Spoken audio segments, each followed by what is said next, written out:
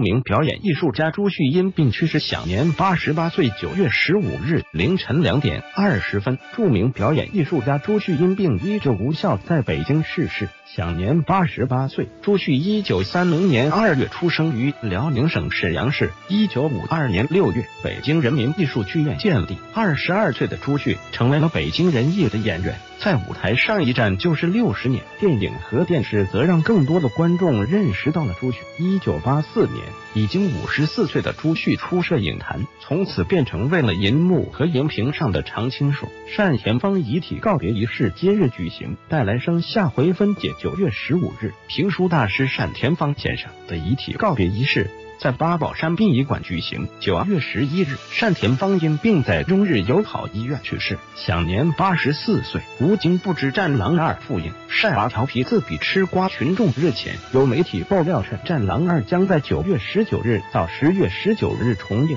后经新浪娱乐调查，发现消息属实。不过，仅大地院线一家有此安排。今日，吴京微博发文表示对复映之事不知情，并配了一张儿子无所谓吃瓜的照片，调皮自比吃瓜群众。前任张外龙重返奥体变敌人，重庆斯威今晚迎来保级生死战。昨日下午四点半，前重庆斯威主帅。现河南建业主帅张外龙十个月后再次回到重庆，不过现在站在了重庆斯威的对立面。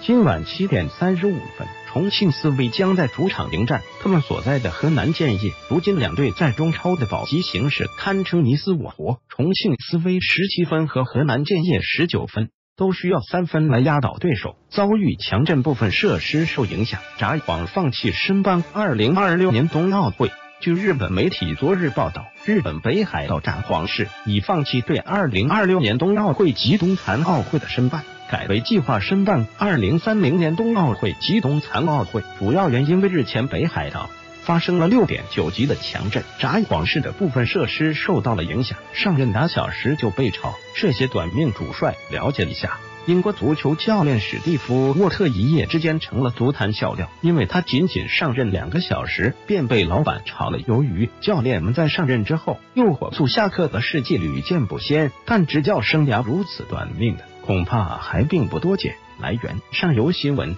中新网等。